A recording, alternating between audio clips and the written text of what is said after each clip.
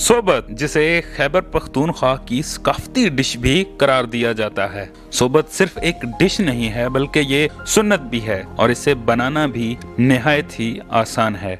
इसका तरीकाकार ऐसे है कि गोश्त के शोरबे में रोटी के टुकड़ों को पहले तकसीम किया जाता है, और फिर इन्हें उस शोरबे में भिगोया जाता है। ये अमल तब तक जारी रहता है जब तक ये रोटी के टुकड़े अच्छी तरह मिक्स ना हो जाएँ। इसके साथ साथ अगर सलाद और रायते का इस्तेमाल हो तो क्या ही कहने। और वो जायके का मज़ा ही दुबाला कर देते हैं। इसके लिए पतली रोटी, जिसे आम ज़ुबान में माने भी कहा जाता है, उनका इस्तेमाल लाजमी है। शोरबा चाहे मुर्गी का हो या गोश्त का, ये सब में तैयार हो सकती है।